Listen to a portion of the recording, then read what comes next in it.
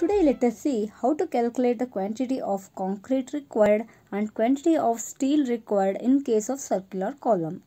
The data given are the height of the column is given which is equals to 3.2 meter and the diameter of column is also given d which is equals to 500 mm it means 0.5 meter and let us say 6 number of 20 mm diameter bars are provided in this circular column.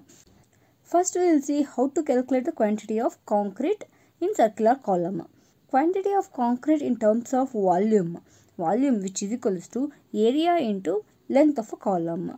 Here area is base area of circular column and length is nothing but height of the column. Since it is a circular column, we know that area of circle is pi d square by 4. Therefore, the base area is also equals to pi d square by 4. Here d is the diameter which is equals to 0.5 meter that is diameter of the circle. If we substitute the value, we will get 0.1963 meter square.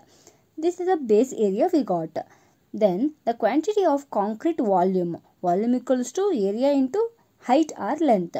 Here area is 0.1963 multiplied with the height of the column that is 3.2. Then we will get a quantity of concrete volume as 0.6283 cubic meter.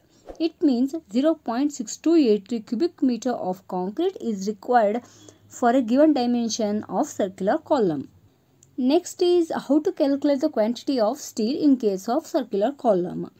Quantity of steel area which is equals to pi d square by 4 because the steel reinforcement is in the form of a circular shape. Therefore, area of circle that is pi d square by 4 formula is using to find the quantity of steel area. Here d is diameter of the bar which is considered. If we substitute 20 mm as a diameter, then we will get 314.16 mm square as the area for single 20 mm diameter bar we got.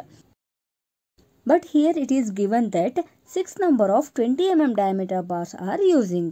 Therefore, area of steel quantity for 6 bars which is equals to 6 multiplied with area of single 20 mm diameter bar that is 314.16 mm square. Then we will get the area of steel quantity as 1884.95 mm square.